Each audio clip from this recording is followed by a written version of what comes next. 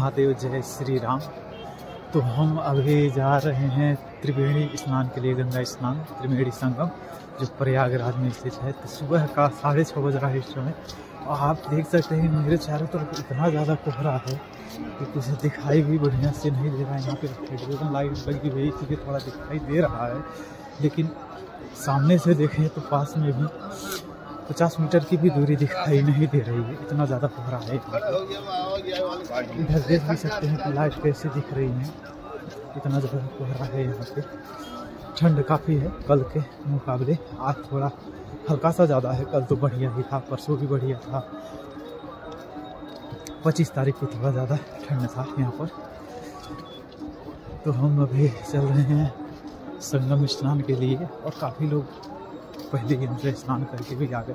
दाढ़ी पे भी मेरे देख सकते हैं कितना कोहरा लग गया है। देखते हैं गंगा स्नान। गंगा नदी का पानी है, उसके बाद यहाँ पे देख सकते हैं गंगा स्नान करके आ रहे हैं श्रद्धालु जन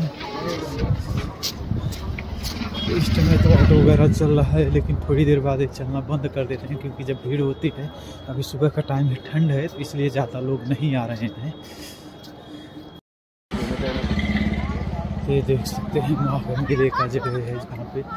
मेला लगा हुआ है।